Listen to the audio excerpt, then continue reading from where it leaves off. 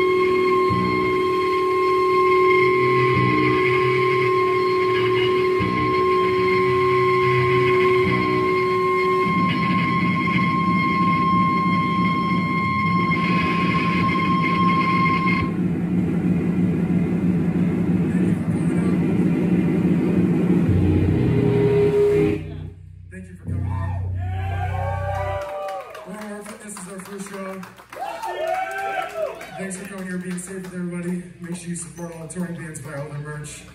Uh, so last song.